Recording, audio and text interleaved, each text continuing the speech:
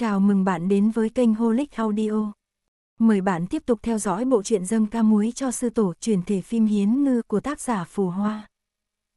Chương 15, Ăn Liêu Đình Nhạn không biết tại sao ban nãy Tư Mã Tiêu xuống Tam Thánh Sơn không ra tay luôn mà lại để người ta mời đến hào trạch nghỉ ngơi đã đời rồi đột nhiên muốn sửa soạn ra ngoài. Nhưng cô nghĩ, với cái tư duy rối ren của tên tổ tông này thì một người IQ tầm thường như cô làm sao có thể hiểu được, cho nên cô cũng ngoan ngoãn thay bộ váy đẹp rồi cùng hắn đi ra ngoài.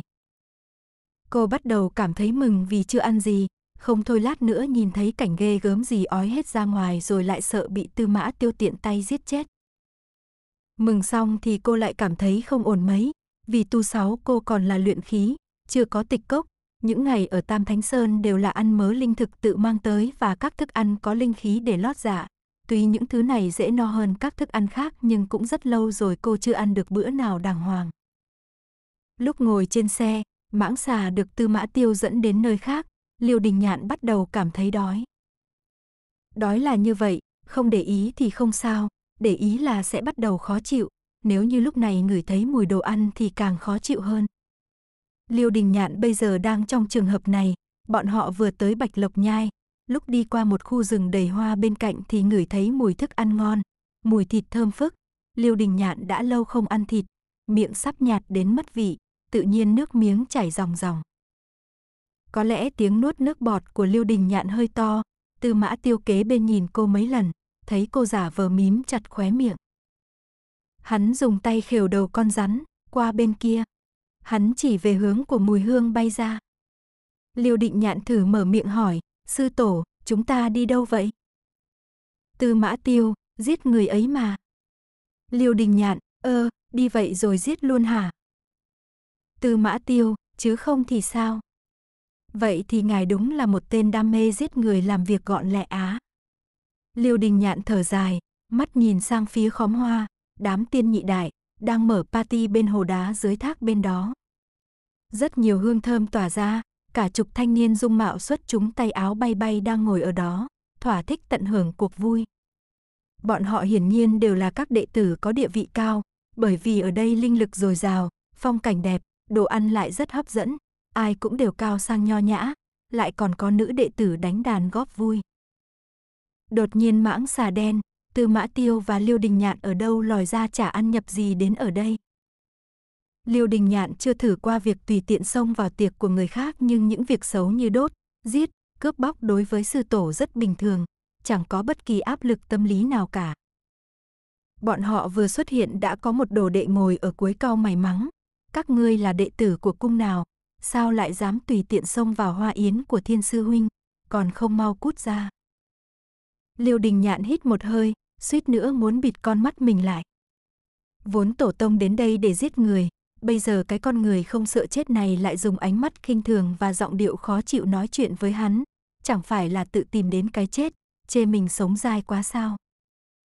Cô tưởng rằng chỉ trong 3 giây sẽ thấy đồ đệ đang nói chuyện kia nổ thành một mảng máu nhưng không phải. Tư mã tiêu bên cạnh cô nhấc chân xuống xe, đưa mắt nhìn xung quanh như không nghe thấy lời đệ tử kia nói. Liêu Đình Nhạn thấy hắn đạp lên những giải lụa giải đầy trên đất, tiện tay lấy bình rượu trên bàn của một đệ tử lên xem. Hắn còn ngửi ngửi, có lẽ là không thích mùi vị đó nên tiện tay ném đi, rượu để lại vệt trên những giải lụa đẹp đẽ.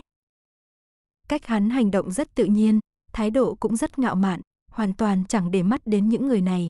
Tên đệ tử lúc đầu lên tiếng tức giận đứng lên nói, ngươi. Mới nói được một chữ, từ mã tiêu đã xuất hiện trước mắt y, bóp chặt cổ, kéo y đi, sau đó đẩy và dìm y xuống nước trước trăm con mắt đang dõi theo. Lúc này nhiều người đứng lên cùng lúc, vẻ mặt giận dữ, trong đó có một anh đẹp trai đứng đầu đứng lên rất vội vã. Lưu Đình Nhạn thấy hình như y còn chật cả chân, mặt mày hoảng loạn sợ hãi, khác hẳn so với những người khác. Người này hình như đã gặp qua sư tổ, ban nãy sừng sốt một hồi có lẽ là không dám nhận người quen. Dù gì thì tư mã tiêu có vai vế thế nào chứ, trưởng môn còn thành ra cái dáng vẻ này trước mặt hắn ta chứ huống chi là người khác, dù cho các đệ tử dám oán trách hắn sau lưng, đến khi đụng mặt tại chỗ cũng sợ chết khiếp. Không có nhiều người nhìn thấy dáng vẻ thật sự của Tư Mã Tiêu như thế nào, người có thể nhận ra, về cơ bản thì vẫn có chút địa vị, ở đây chỉ có một người nhận ra hắn. Người đó bước nhanh vài bước về phía trước, đến phạm sáu ba bước của Tư Mã Tiêu thì bước chân trở nên nặng nề, không dám tiếp tục bước lên, lập tức hành đại lễ thật chỉnh chu, cúi đầu lên tiếng, từ tạng đạo quân. Khoảnh khắc này khiến tất cả mọi người trong yến tiệc đều chấn động, khoảng 3 giây sau là quỳ hẳn trên mặt đất, ai ai cũng đều hoang mang, ngơ ngác, cái tên bị Tư Mã Tiêu nhấn đầu xuống nước đang ra sức chống chọi hết sức hoảng loạn lại như bị sét đánh trúng, cứng đờ ra chẳng dám nhúc nhích. Người tu tiên đương nhiên sẽ không dễ dàng chết chìm bởi hành động đơn giản như bị nhấn xuống nước như này, hắn chỉ dọa thôi. Tư Mã Tiêu thấy y không chống trả nữa liền nói, vùng vẫy tiếp đi chứ. Đệ tử kia khựng lại, thử chậm chậm chống trả trông như một con rùa lớn. Liêu đình nhạn nhịn không được cười lên thành tiếng. Khung cảnh lúc này yên tĩnh đến nỗi tiếng gió cũng không có. Tiếng cười của Liêu đình nhạn rõ hẳn. Tư mã tiêu quay đầu nhìn cô, chưa kịp kiềm nén cảm xúc thì hắn cũng bật cười lên. Hắn buông tay khỏi gáy tên đệ tử kia, mặc y giả chết trên nước và cũng chẳng quan tâm những người xung quanh, bước lên trước, ngồi xuống bàn tiệc, vẫy tay gọi Liêu Đình Nhạn. Qua đây. Liêu Đình Nhạn bước qua, nghe thấy tên tổ tông muốn ra đường giết người kia nói với cô, muốn ăn gì thì ăn đi. Chẳng phải khi nãy anh nói muốn giết người sao? Liêu Đình Nhạn nhất thời không phản ứng kịp. Tên tổ tông này, chẳng lẽ khi nãy nghe được tiếng nuốt nước bọt của cô, biết cô đói nên cố tình dẫn cô sang đây ăn sao? Không, không thể nào vậy được, hình tượng của hắn trong lòng cô không có ân cần chu đáo tới vậy. Tư Mã Tiêu cũng chẳng quan tâm cô nghĩ như thế nào, nói xong câu đó liền lấy chùm linh quả màu đỏ trên bàn lên, hái một trái rồi dùng tay bóp nát, nước quả màu đỏ tràn ra tứ phía làm đỏ cả ngón tay của hắn. Hắn chỉ ngồi đó, không có biểu hiện gì, cứ lấy từng trái ra mà bóp, lại chẳng quan tâm đến những người xung quanh. Liêu Đình Nhạn lại thấy là, cái tư thế bóp quả lại giống y như đúc cái động tác hắn bóp đầu người khác. Những người khác quỳ ở đó, đổ mồ hôi lạnh, Liêu Đình Nhạn ngồi sang một bên, lấy thịt bắt đầu ăn. Không biết là thịt gì, ăn cực kỳ sướng miệng, nước thịt tươm ra trong miệng lúc nhai, hương vị thơm ngon đó lập tức xoa dịu cái sự lo lắng, căng thẳng trong hoàn cảnh hồi hộp này. Cô chưa bao giờ ăn thứ thịt nào ngon như vậy, thậm chí còn tiếc rằng không có cơm ở đây. Đang ăn thì mãng xà đen trườn tới kế bên, cạ đầu vào tay cô. Liêu Đình Nhạn vẫn nhớ rằng những ngày cả ba sống nương tựa vào nhau, không có thức ăn, thức uống, cô lấy một cái dĩa lớn và vài bình sang cho con rắn người, để nó tự chọn. Dù sao đi nữa thì thức uống ở đây cũng ngon hơn nước chúc của cô, hiếm khi sếp mới đưa hai nhân viên sang đây, đương nhiên là phải ăn cho no rồi. Mãng xà đen chọn một cái, Liêu Đình Nhạn rót ra một cái thau to, để nó tự uống. Lúc cô đang làm chuyện này, Tư Mã Tiêu quay đầu lại nhìn cô, Liêu Đình Nhạn mãi không nghĩ ra cái ánh mắt đó của tổ tông rốt cuộc là có ý gì. Cô lại chẳng có đọc tâm thuật, vì vậy cô chỉ xem như chẳng có gì và cứ thể ăn tiếp phần của mình. Cô xem đây như là một bữa ăn buffet, vui vẻ mà ăn, hiển nhiên con mãng xà đen kia cũng vui vẻ, đuôi cứ vẫy qua vẫy lại, có lẽ tiếng vẫy ồn ào làm tổ tông khó chịu, Tư Mã Tiêu ném linh quả đập vào đuôi con mãng xà, có liền lập tức cứng đuôi. Liêu Đình Nhạn nghĩ trong bụng, may miệng mình ăn chẳng phát ra tiếng động, nếu không lại làm tổ tông khó chịu rồi bị ném vào mặt. Ăn một ít thịt, ăn một ít rau rồi lại uống chút nước quả, cuối cùng lại ăn miếng trái cây. Tư Mã Tiêu bóp xong quả cuối cùng, dùng ấm trà mây kế bên rửa tay rồi đứng lên. Mãng xà đen lại lần nữa đèo hắn và Liêu Đình Nhạn đi, vui vẻ rời khỏi chỗ này, tiếp tục đi đến nơi ban đầu mà Tư Mã Tiêu muốn nhắm đến. Khi họ rời đi, bữa tiệc hồi lâu vẫn không có động tĩnh gì, thiên sư huynh có thân phận cao nhất kia bỗng nhảy sổ ra, sắc mặt hết sức phức tạp, những người khác cũng đứng lên, nheo mắt nhìn nhau. Đó thật là sư tổ. Từ tạng đạo quân sao? Có người yếu ớt lên tiếng. Vừa nãy hắn không giết người, không phải bảo là. Được rồi, đừng nói chuyện này nữa, ngô sư đệ không sao chứ. Ngô sư đệ đang dìm đầu trong đáy hồ ngẩng lên, mặt đầy nước, cả người lẩy bẩy nhìn thiên sư huynh, thiên sư huynh, sư tổ. Thiên sư huynh chẳng nói chẳng rằng, vội vàng bước đi. Bây giờ y muốn đi gặp ông nội của mình, nhanh chóng nói chuyện này cho ông biết, nào có còn quan tâm nổi đến đám sư đệ sư muội đến dự tiệc kia. Phía bên trưởng môn cũng đã nhận được tin Tư Mã Tiêu rời khỏi Bạch Lộc Nhai, lập tức đề cao cảnh giác. Tên Tư Mã Tiêu này hành động không cách nào lường được, không ai biết được hắn sẽ làm ra những chuyện gì. Lão cũng muốn phái người theo dõi Tư Mã Tiêu để tiện biết được cử động của hắn nhưng người như Tư Mã Tiêu hoàn toàn không thể nhẫn nhịn cho sự rình tập của kẻ khác. Lão chỉ có thể cho người chú ý nhiều hơn, khó tránh tin tức đến hơi chậm một tí. Trên đường chạy đến Linh Nham Sơn Đài, Trường môn nghe Thiên Vô Ngần kể lại chuyện trước đó Tư Mã Tiêu đột nhiên xông vào hoa yến của y. Lúc đó đệ tử nhìn rõ mồn một, từ tạng đạo quân quả thật hết mực sủng ái nữ tử kia, hắn hoàn toàn không thèm để ý tới chúng đệ tử, chỉ đợi nữ tử kia ăn xong rồi rời đi. Thiên vô ngần nói, ông nói có nói, từ tạng đạo quân kia bị giam giữ nhiều năm, hết sức oán hận bát đại cung chúng ta. Mấy tiền bối với trưởng lão lúc trước xông lên Tam Thánh Sơn đều mất mạng nhưng giờ xem ra hắn lại không ham thích giết chóc như vậy. Tất cả mọi người ở đó, dù ban đầu có nói năng không lễ độ với hắn cũng không có chuyện gì xảy ra. Trường môn cười nhạt, giọng điệu có ý sâu xa, đến ta còn chưa từng nhìn thấu được giới hạn của cái tên cuối cùng của tư mã thị này. Càng không có ai có thể biết được suy nghĩ của hắn. Tư mã tiêu đi đến Linh Nhan Sơn Đài, đây là đài đấu võ lớn nhất trong sơn mạch trung tâm của canh thần tiên phủ. Phần nhiều thời gian đều toàn các đệ tử ưu tú của bát đại cung và các mạch trường môn luyện chiêu tỷ võ ở đây. Bởi vì khu vực rộng lớn, đã chứa hắn mấy ngàn người trông vẫn thoáng đãng như cũ. Hắn vừa xuất hiện, Linh Nham Sơn Đài vốn náo nhiệt bỗng yên tĩnh lạ thường. Liêu Đình Nhạn nhận ra tổ tông đi đến đâu thì nơi đó trở thành một khoảng yên lặng chết chóc. Tiếng ác của hắn đã sớm lan truyền khắp nơi, trông hắn dọa đám đệ tử kia xem, ai nấy mặt cắt không còn một giọt máu. Liêu Đình Nhạn vừa nhìn đã hiểu, tên tổ tông này hẳn là muốn chơi lớn, dọn sạch hết lực lượng nòng cốt của thế hệ tiếp theo, chiêu này cũng tàn độc thật không biết là hắn sắp dứt từng người một hay là dứt cả đám một lượt. Cô có chút hối hận ban nãy đã ăn nhiều như vậy. Tư mã tiêu tùy tiện ngồi trên bậc thềm cao cao, chỉ vào hai đệ tử, hai người các ngươi ở mạch nào. Hai đệ tử bước ra, chắc là cũng có chút năng lực, sau khi hoàn hồn thì ít nhiều cũng giữ vững được phong thái, bình tĩnh khai ra tên họ với mạch hệ xuất thân. Tư mã tiêu, hai ngươi lên đài đánh một trận sinh tử đấu đi. Hai đệ tử kia nhìn nhau, sắc mặt đều hơi khó coi. Bọn họ xuất thân từ các cung khác nhau nhưng quan hệ giữa hai cung không tệ, bảo họ sinh tử đấu với nhau. Người nào gặp chuyện cũng không dễ ăn nói nhưng vị sư tổ tư mã tiêu này đã nói rồi.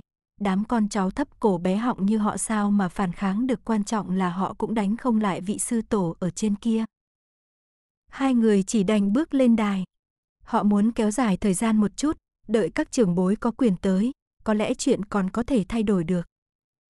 Bọn họ đánh được một lúc, đều không dùng hết sức thật sự, Tư Mã Tiêu sớm đã lường trước được, cũng chưa tức giận mà chỉ nói thêm một câu, trong một nén hương phải phân được thắng bại, nếu hòa thì cả hai đều phải chết.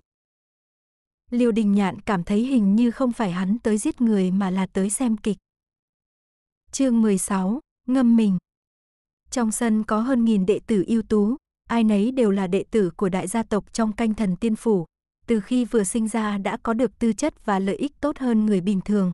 Những người sinh ra ở vạch đích này đều là những nhân vật mà những môn phái ngoài kia không thể với tới. Phất tay là có thể quyết định sống chết của vô số người.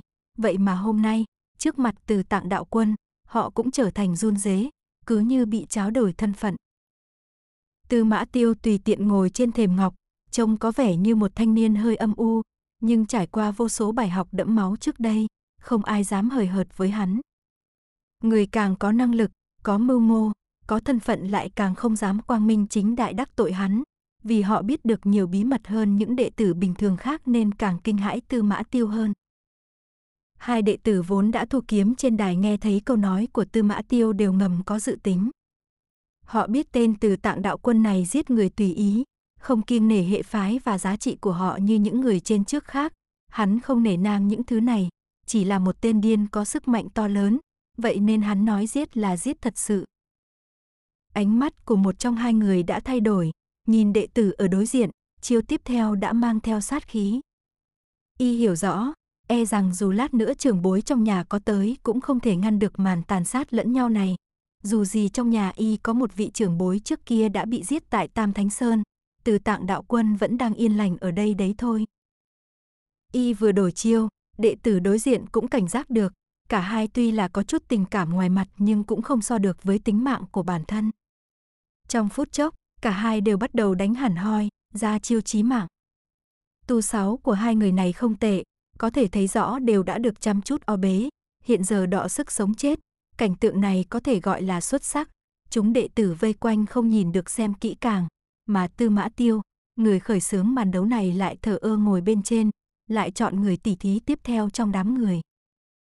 Liêu Đình Nhạn ngồi cạnh hắn, mãng xà đen vây cạnh hai người họ, nàng và nó đều chẳng hứng thú gì với cái chuyện đánh tới đánh lui này. Liêu Đình Nhạn vốn đã không thích xem phim đánh đấm, càng không muốn thấy người chết.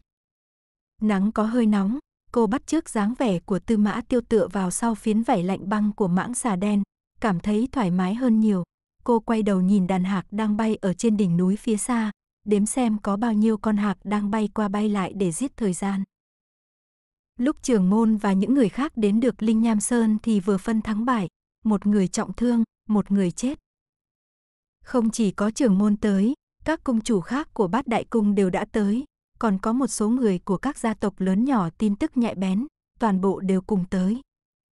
Những bậc lão làng trước giờ không dễ thấy mặt kết bè cùng nhau tới, đều là vì sợ tư mã tiêu đột nhiên lên bứng sạch đám hạt giống tinh túy này. Từ tạng đạo quân, đám người hành lễ với tư mã tiêu, sắc mặt mấy vị cung chủ đều không thấy thái độ, chỉ một số nhà có đệ tử ưu tú bị chết thật sự quá đau buồn mới lộ ra một chút oán giận nhưng cũng không dám quá lộ liễu. Trường môn vẫn có thái độ tốt như trước, bước lên nói, sư tổ sao lại có hứng thú đến đây xem mấy đệ tử trẻ tuổi này tỉ thí vậy. Tư mã tiêu tựa vào người con rắn đen của mình, nhìn đám người xiêm y chỉnh tề, tiên khí bay bay này mà nói, nhàm chán sinh khó chịu, ban nãy mới xem được một trận, tiếp tục đi, chọn hai người nữa ra, vẫn là tử đấu như cũ. Trường môn rất bình tĩnh, có một số người lại không bình tĩnh được như vậy, trong nhà nhiều đệ tử, khó tránh có đệ tử ruột, nào có đành lòng để người khác dễ dàng giết hại, lập tức liền có mạch chủ bất chấp bước ra can ngăn, từ tạng đạo quân, chẳng qua chỉ là tỉ thí thôi, hay đổi tử đấu thành. Từ mã tiêu, nhưng ta muốn thấy có người chết. Hắn nhìn lướt qua sắc mặt của từng người, bất chợt nói, ta từng nghe nói, rất nhiều năm trước, chúng đệ tử của tiên phủ thường tử đấu, nâng cao năng lực bản thân trước sống chết, nhờ vậy mà khi đó nhân tài lớp lớp xuất hiện, hôm nay xem ra canh thần tiên phủ chúng ta đã xa sút rồi. Hắn nói rồi lại tiếp tục, cái đệ tử tại đây hôm nay nếu có người có thể thắng 20 trận tử đấu, có thể có được một cánh hoa phụng sơn huyết ngưng. Liêu Đình Nhạn biết một cánh hoa là ngàn năm tu sáu nhưng cô biết đây không phải toàn bộ. Điểm thần kỳ của hoa này chính là không cần biết tư chất ra sao, có thể tăng thẳng tu vi, mà tư chất càng kém, hiệu quả càng tốt. Ví dụ như nếu có người có tu sáu ở bậc luyện khí, thậm chí có thể tăng liền một mạch đến bậc nguyên anh, có thể bỏ qua hẳn hai bậc khó luyện là trúc cơ và kết đan. Còn nếu có tu sáu cao thâm, một ngàn năm tu sáu này có thể khiến người ta tiến giai thẳng, hơn nữa còn không có tác dụng phụ. Còn nếu đã tới tuổi, tu sáu đã gần chín muồi nhưng không tăng được, dùng hoa này đột ngột tăng ngàn năm tu vi, nếu may mắn có thể tiến tới bậc tiếp theo, tới cảnh giới kế tiếp, đồng nghĩa với việc có thêm một mạng. Tư Mã Tiêu vừa dứt lời, đến những đệ tử mà các mạch chủ dẫn tới có không ít người cũng đã yên lặng. Tư Mã Tiêu đều nhìn rõ mồn một thần sắc của từng người. Sự nhận biết quá sức nhạy bén của hắn khiến hắn lúc này chẳng khác nào đang đứng trên một khoảng biển của lòng tham, đến muốn nghẹt thở. Liêu Đình Nhạn đứng cạnh làm bình hoa bỗng bị Tư Mã Tiêu kéo sang. Cô nhìn vẻ mặt nhíu mày bực dọc của Tư Mã Tiêu, dù hắn có vùi mặt vào lưng mình mà hít lấy cũng không dám động đậy. Ngài hít mèo hả? Liêu Đình Nhạn thầm nghĩ, hôm nay cái danh hiệu tuyệt sắc sủng cơ của mình được xếp rõ rồi. Tư mã tiêu trì hoãn một lúc, lúc lên tiếng nói tiếp giọng đã u ám hơn nhiều, bắt đầu đi. Lần này thì không ai ngăn cản nữa, cũng có đệ tử chủ động bước ra. Mà 10 trận tử đấu, giết 20 người. Chuyện này cũng không coi là khó, dù gì mọi người ở với nhau khó tránh có người giỏi và người không giỏi mấy. Cái khó là các thế lực mạch hệ sau lưng những người đó gây xích mích, muốn giết người tài để giảm giới hạn phiền phức tới thấp nhất. cũng là chuyện tất cả mọi người đều đang suy nghĩ. Bọn họ không muốn vô duyên vô cớ đắc tội người khác nhưng lợi ích đang ở trước mắt, còn là lợi ích không thể từ chối, có bao nhiêu người lại không bị lay động. Chuyện xảy ra bây giờ đã không còn là chuyện của tư mã tiêu nữa mà chọn lựa của đám hám lợi kia. Đối với họ, không có ai là không thể vứt bỏ, nếu như không thể thì chỉ là vì lợi ích không đủ làm người ta động lòng. Hôm nay đã có hơn trăm đệ tử chết ở đây, Tư Mã Tiêu thản nhiên nhìn họ tàn sát lẫn nhau, mãi đến mặt trời xuống núi mới về Bạch Lộc Nhai. Liêu Đình Nhạn theo sau Tư Mã Tiêu, nhìn bóng lưng thon dài và mái tóc đen tuyền lên tiếng hỏi, "Sư tổ, mai có phải đi nữa không?" "Sao, ngươi lại không muốn đi?" Tư Mã Tiêu bình thản. Liêu Đình Nhạn, nếu mai phải đi nữa tôi sẽ chuẩn bị dù với đệm. Phơi nắng trần trụi cả ngày, nếu không phải nhờ chất da trời sinh thì đã đen hẳn một tôn rồi, còn phải ngồi trên thềm đài cả ngày, tưởng mong cô không biết đau à. Tư mã tiêu ngừng bước, quay đầu nhìn cô, đột nhiên bật cười lớn. Tới nữa rồi, xếp lại lên cơn nữa rồi. Không phải ngươi sợ người chết sao, hết sợ rồi hả? Tư mã tiêu hỏi. Liêu đình nhạn hiếm khi nói chuyện với hắn mà không có bắp nói thật, cân nhắc trả lời, sợ thì vẫn sợ, vậy nên hôm nay tôi không dám nhìn bên phía họ đánh nhau. Lúc thì quay trái nhìn chim ngắm núi, khi thì quay phải xem đám lão làng, tập thể dục cổ cả buổi chiều. Ồ, tội cho ngươi quá. Tư mã tiêu nói. Liêu đình nhạn nghe không ra câu này của hắn có phải nói lẫy không, dựa vào cái tính cách không biết nói chuyện này của hắn, cô đoán hẳn là mỉa mai. Thấy tâm trạng hắn dường như có vẻ bình lặng, Liêu Đình Nhạn không nhịn được mà hỏi, bọn họ hôm nay hình như đều rất muốn có cánh hoa sen đỏ đó, nhưng mà không phải ngài đã nói là phải có máu của ngài mới dùng được sao? Không phải máu của ta, là máu của tộc Phụng Sơn. Tư mã tiêu đi giữa núi, tay áo lướt qua cây hoa ven đường, cánh hoa hồng rơi cả đoạn đường. Ta đã từng nói người họ tư mã sau khi chết không thể giữ được thi thể, chỉ có một hạt cốt châu. Những thi thể đó không thể giữ lại được là vì máu thịt của họ là linh dược, sẽ bị đám gia tộc trong canh thần tiên phủ phân chia nhau. Tuy là hiện nay chỉ còn có mình ta nhưng trước đây vẫn có ít người, bọn chúng tích trữ lâu năm, trong tay đương nhiên vẫn còn giữ lại một số máu thịt vẫn còn dùng được. Liêu Đình Nhạn đột ngột nghe được chưa kịp chuẩn bị tinh thần, thấy hơi buồn nôn, nôn khan một tiếng. Tư Mã Tiêu lại bị phản ứng của cô chọc cười, tùy tiện ngắt một bông hoa bên đường, liếc nhìn khuôn mặt cô, mới vậy đã chịu không nổi rồi, ăn thịt người thôi mà, trên đời này, đâu đâu cũng là người ăn thịt người.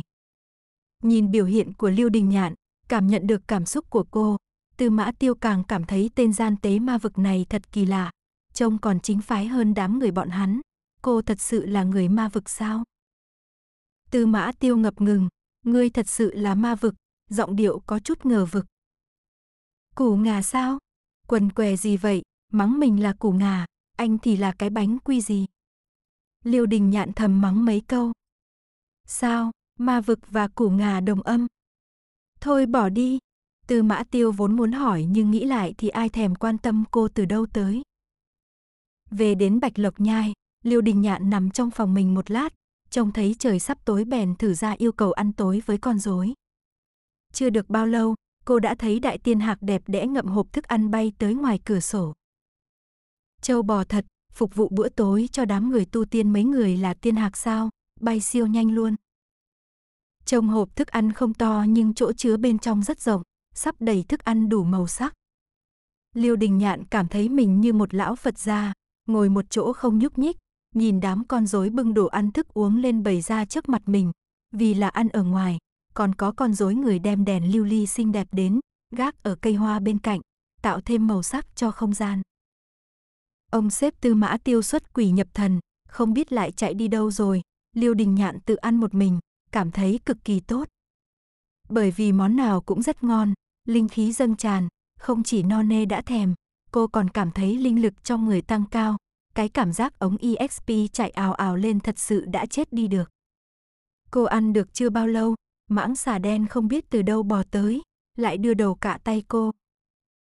Liêu Đình Nhạn hết sức thương yêu đồng nghiệp, rót ít nước trái cây cho xe mãng xà, một người một rắn vui vẻ ngấu nghiến. Sau khi no nê, Liêu Đình Nhạn tản bộ cho tiêu cơm.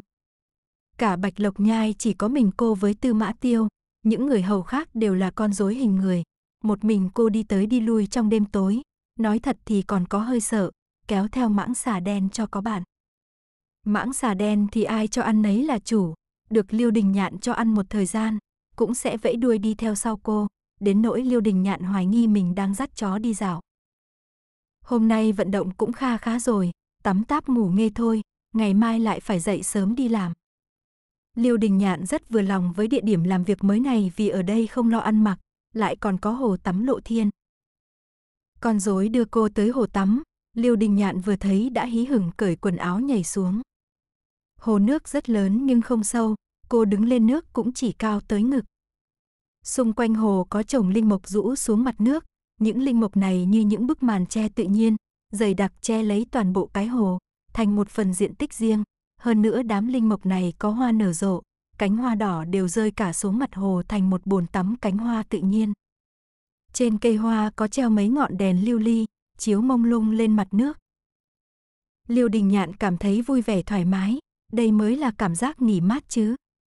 Cuộc đời vào lúc khó khăn phải biết tự học cách điều chỉnh, hiện giờ cô đã hoàn toàn vứt đi mấy chuyện phiền muộn trong lòng kia, chìm đắm trong cái hồ nước dịu dàng với cảnh sắc đẹp đẽ này. Xung quanh rất yên tĩnh, chỉ có một mình cô. Lúc tắm rất thích hợp lại mấy chuyện tự do tự tại, ví dụ như hát lạc tôn, dùng sức đạp chân dậy nước, cuốn lấy một đống cánh hoa đắp lên cánh tay và mặt mình, lại ví dụ hít hít sâu một hơi rồi hụp cả người xuống nước. Trong nước có một bóng người đen thui. Ọc, Liêu Đình nhạn ra khỏi mặt nước ho lấy ho để. Tư mã tiêu từ dưới hồ đứng lên, toàn thân vẫn đen thui, hắn vuốt một nắm tóc dài, để lộ vầng trán sáng bóng, đi về phía cô, trong lúc Liêu Đình Nhạn che tay trước ngực, hắn mặt mày lạnh căm đi từ cạnh cô bước lên bờ, quay đầu nói từ xa vọng lại, người ổn thật đấy. Sau đó cứ vậy mà đi.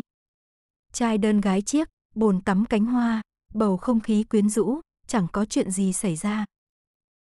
Liêu Đình Nhạn trầm tư giây lát, cảm thấy bản thân đã có thể khẳng định tổ tông thật sự yếu sinh lý. May quá trời quá đất, tự nhiên yên tâm hơn hẳn. Chương 17, chắc như đinh đóng cột. Tư Mã Tiêu rời khỏi hồ liền về phòng ở Bạch Lộc Nhai, hắn không cố ý lau sạch nước trên người nhưng trong lúc đi thì mớ nước kia cũng tự động bốc hơi, cứ như trên người hắn có ngọn lửa đang thiêu đốt vậy. Sắc mặt hắn u tối, chân mày nhíu lại, trong đôi mắt đen tuyền có hẳn lên tia máu. Bạch Lộc Nhai vốn có khá nhiều linh thú sinh sống lúc này lại yên lặng như tờ, bất kỳ sinh vật sống thông minh nào cũng có thể cảm nhận được một thứ áp lực nào đó, lập tức liền im lặng hẳn ra, hươu trắng trong núi nằm ra đất run lẩy bẩy, hạc trắng bay trên cao cũng hạ cánh xuống rừng tùng không dám bay tiếp, chỉ ngóng về phía cung điện trung tâm Bạch Lộc Nhai. Bên trong điện, một bàn tay trắng toát của Tư Mã Tiêu đặt trên nền đất được lát toàn bộ bằng cẩm thạch, ngọn lửa đỏ thẫm từ tay hắn phút chốc tuôn ra, lan ra xung quanh. Dường như chỉ trong tích tắc, nền cẩm thạch cứng chắc kia tan ra như băng gặp lửa, không bao lâu sau, trên nền cẩm thạch bị tan chảy xuất hiện một cái hồ không nhỏ. Tư Mã Tiêu đứng ở cạnh hồ, năm ngón tay vươn ra ngoài cửa sổ bắt lấy, xương trắng của cả ngọn bạch lộc nhai chuyển động, chảy vào cái hồ trống không. Lúc xương trắng hội tụ lại trong hồ liền biến thành hồ nước toát ra khí lạnh băng. Tư Mã Tiêu vẫn mặc bộ y phục cũ, bước vào hồ nước lạnh lẽo, hụp sâu xuống đáy hồ. Tiếng hát của Liêu Đình Nhạn đang tắm trong hồ hoa lộ thiên ngừng lại một chốc, đột nhiên cảm thấy nhiệt độ xung quanh hình như tăng lên, đến xương trắng trên mặt nước ban nãy cũng ít đi nhiều. Không gian yên lạnh ngưng trệ, linh hoa bên cạnh tự lay động mà không cần gió, rất nhiều cánh hoa rơi xuống nước. Cô gãi gãi mặt, tiếp tục tắm rửa hát hò. Tắm xong cô liền về phòng ngủ, nói thật thì ở Bạch Lộc Nhai thoải mái hơn tháp trung tâm nhiều, các cách bày trí trong phòng đều rất đẹp, giường vô cùng thoải mái, chỉ là cô hơi có ý kiến với cái rèm giường màu hồng cánh sen kia. Cô nằm trên cái giường cực lớn hoa gấm như nhồi bông, lại kéo cái rèm giường hồng cánh sen tinh tế kia lên, cứ thấy cực kỳ yêu mị ti tiện. Liêu Đình nhạn nghĩ tối nay anh trai đại hắc chắc là no nê rồi, không tới nổi nửa đêm bò tới ăn khuya nên đóng hết cửa sổ lại. Ai ngờ đâu khuya lắc khuya lơ cô lại mơ mơ màng màng bị đánh thức, không phải bị đại hắc đánh thức mà là lạnh đến tỉnh. Cứ như có ai hướng đầu quạt máy lạnh thổi vào đầu cô vậy, đang yên đang lạnh lại bị làm cho tỉnh ngủ. Bên ngoài đang mưa, cửa sổ mở lớn, cửa cũng đang mở, mà bên cạnh cô có một người đang nằm. Liêu đình nhạn vội kiềm không thét ra tiếng, suýt nữa cắn trúng lưỡi, vì cô sờ ra được mớ tóc cạnh tay mình. Đây chính là sếp lớn Tư Mã Tiêu, người đang nắm tính mạng nhân vật của cô trong tay.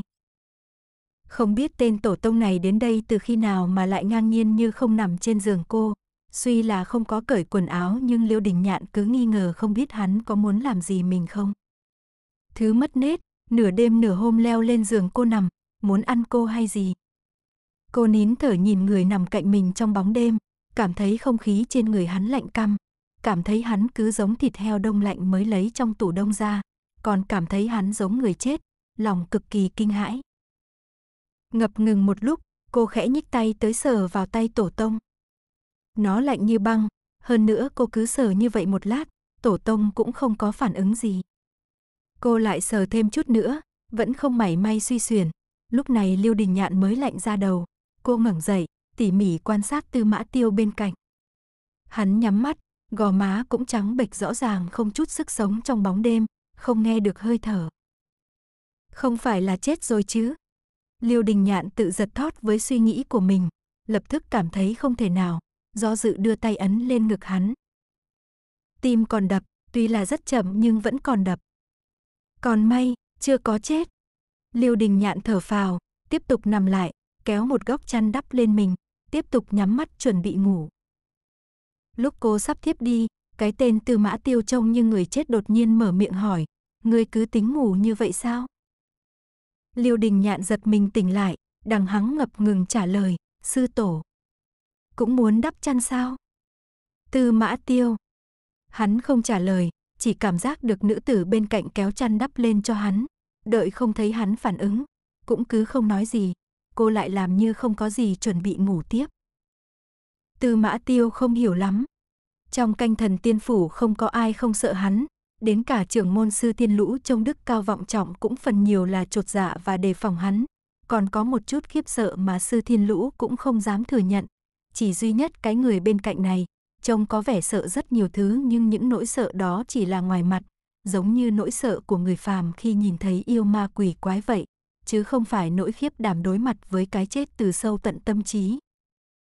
Cô nói mình sợ người chết không phải là nói dối, nhưng đối diện với tên sát nhân tùy ý như hắn vẫn còn có thể yên tâm ngủ ở cạnh bên, thật sự khiến người ta không thể hiểu được. Tư mã tiêu biết mình rất khó lường trong mắt người khác, cái người bên cạnh này đối với hắn cũng khó mà nhìn thấu một cách lạ thường. Đêm nay hắn lại thấy đầu đau như sắp nứt ra khiến hắn bực dọc muốn giết người. Cả Bạch Lộc Nhai chỉ có hai người họ nên hắn đã đến đây, nhưng đứng bên giường nhìn một hồi lâu, nhìn cô ngủ tới không biết trời trăng gì, sát khí vốn đang hừng hực bỗng không biết tại sao lại vơi đi, lại cảm thấy đau đầu bèn nằm hẳn xuống bên cạnh. Hắn còn nhớ lúc trước trong tháp trung tâm, khi nằm cạnh người này, hắn đã có được một giấc ngủ ngon hiếm có. Hắn có nghĩ tới phản ứng của cô sau khi tỉnh lại, có thể là khiếp đảm run lập cập không ngủ tiếp được, hoặc là giống như những người có mưu mô lúc trước, đến bên cạnh hắn bộc lộ ý nghĩ đê hèn từ trong thâm tâm. Nhưng hắn không ngờ rằng cô ả này đúng là có thật thót nhưng sau đó lại như không có gì xảy ra mà ngủ tiếp. Cứ như hắn nằm cạnh cô nửa đêm là một chuyện gì đó rất bình thường. Con người tư mã tiêu rất vô lý, là một tên phiền phức, lắm chuyện, hắn nằm đó không thoải mái liền muốn ngồi dậy lay tỉnh Liêu Đình Nhạn ở cạnh. Dậy đi, không được ngủ nữa. Liêu Đình Nhạn, Tổ Tông, muốn cái gì nữa đây, ngủ không đủ giấc dễ có quầng thâm lắm đó thông cảm cho tâm trạng muốn bảo vệ nhan sắc của người đẹp đi được không? Cô miễn cường tỉnh táo đối phó với tên tổ tông tự dưng lên cơn này. Bởi vì trong đầu đã gắn cho hắn cái mắc thần kinh nên dù hắn có làm gì, Liêu Đình Nhạn đều tốt bụng chấp nhận. Lúc này cô lồm cồm bò dậy, thở dài hỏi, sư tổ có việc gì sao? Từ mã tiêu, sao ngươi còn có thể ngủ được? Liêu Đình Nhạn, hà? Sao tôi lại không ngủ được? Tư mã tiêu, ta đang ở đây. Liêu đình nhạn, thật ra đắp chăn vào rồi cũng không lạnh lắm. Liêu đình nhạn nhìn vẻ mặt của hắn, vô thức hiểu được ý của hắn. Ý hắn là một tên giết người như ngoé như ông đây ở cạnh người còn ngủ được hả? Chứ không phải là cái tủ lạnh mở cửa như ta nằm cạnh mà ngươi ngủ được hả? Nhưng mà đây cũng đâu phải lần đầu tiên, lần trước bị hắn coi như gối ôm mà ngủ, cô cũng có nói câu nào đâu. Cô cũng muốn biểu hiện một chút mâu thuẫn trong lòng nhưng chất lượng giấc ngủ tốt như vậy đâu trách cô được. Tóm lại cả đêm Liêu Đình Nhạn không được ngủ. Tu sáu của cô thấp tới gần như không có, không so được với cái tên tư mã tiêu lão lão lão làng này. Đêm khuya buồn ngủ chịu không nổi bị bắt bất lực chống mí mắt ngồi trên giường lườm nhau với hắn. Anh trai mãng xà đen nửa đêm bò qua định ăn khuya, nhìn thấy hai người họ, cái chính là nhìn thấy tư mã tiêu ngồi trên giường, sợ cắm đầu chạy, không dám nhớ tới ăn khuya nữa. Ngày hôm sau, Tư Mã Tiêu lại tiếp tục đến Linh Nham Sơn Đài. Lần này Liêu Đình Nghi An không quên mang đệm với dù, tiếc là không dùng tới vì ở đó đã được dựng sẵn một đài quan sát dành cho sư tổ và bọn người trưởng môn xem tỉ thí, không những có đệm êm ngồi nghỉ, còn có thức ăn. Liêu Đình Nhạn nhận ra một vấn đề, cô đều rất thích mớ thức ăn trước mặt nhưng ăn ở ngoài mấy bữa có phải đều lộ hết sở thích cho người khác thấy rồi không? Cô chỉ ngẩn người một lát rồi ngoan ngoãn ngồi cạnh Tư Mã Tiêu, vờ như mình chả nhận ra điều gì. Mà Tư Mã Tiêu nhìn thấy Linh Nham Sơn Đài ngày hôm nay bỗng nhiên lại nhếch mép cười.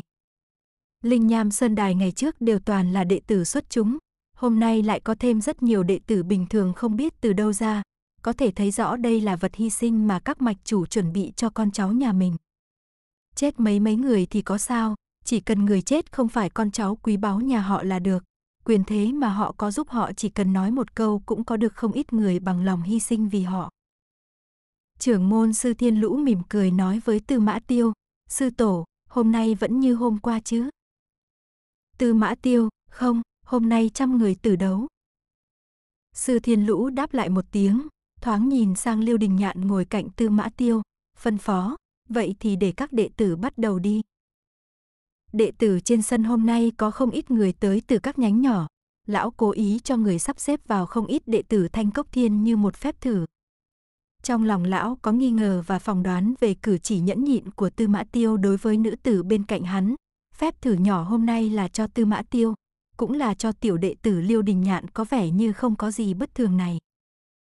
Nữ tử này có thể lạnh lùng bàng quan trước cái chết của người khác mà ở cạnh tên Tư Mã Tiêu thủ đoạn tàn độc này, không biết tới lượt người quen của mình liệu cô có ra tay ngăn cản Tư Mã Tiêu hay không, mà một khi cô ngăn cản, Tư Mã Tiêu sẽ làm thế nào? Sư Thiên Lũ ngồi chờ xem kịch hay bổ não, tiếc là Liêu Đình Nhạn ở bên này hoàn toàn không nhìn xem trên đài có những ai, cô không phải Liêu Đình Nhạn trước đó, đến cả với sư phụ Đồn Dương chân nhân cũng chỉ gặp mặt qua loa được mấy lần, nói gì đến người khác, nói nhiều chút nữa thì là đám nhóc thanh cốc thiên phụ trách nghênh tiễn và tiểu quản sự phụ trách quản lý kho lương thực. Liêu Đình Nhạn thật sự vào thanh cốc thiên cũng vốn là để dọ thám, ít giao thiệp với đồng môn, dù nàng có ở đây e là cũng không nhìn ra mấy đệ tử thanh cốc thiên bên dưới. Lúc bên dưới bắt đầu đánh, Liêu Đình Nhạn cả đêm không ngủ, mí mắt nặng trĩu, tựa vào đệm ngủ lúc nào không hay. Sư Thiên Lũ luôn luôn chú ý cô, nhìn thấy cô dần dần ngồi trượt ngủ gà ngủ gật trước mặt bàn dân thiên hạ. Tư mã tiêu vốn đã khiến người ta chú ý, cô ở cạnh tư mã tiêu đương nhiên cũng không ít nổi bị chú ý, nhìn thấy cô bất động, thật sự ngủ say, tất cả mọi người đều thấy kỳ dị. Tư mã tiêu cũng không nhìn phía dưới nữa, nhíu mày nhìn cô. Đệm ngồi của họ không lớn lắm, Liêu Đình Nhạn cứ nằm dần dần, tự động tìm được tư thế ngủ thoải mái, cô gối đầu hẳn lên đùi Tư Mã Tiêu trưởng môn và các lão làng. Gối đầu trên đùi cái tên đại ma vương từ tạng đạo quân mà ngủ, hơi ngon rồi đó. Đúng là điếc không sợ súng, sư thiên lũ thoáng chấn động, lại hơi nheo mắt nhìn tư mã tiêu, đợi xem phản ứng của hắn. Hắn sẽ có bẩn đẩy người xuống đài hay là thẳng thừng vặn gãy cô?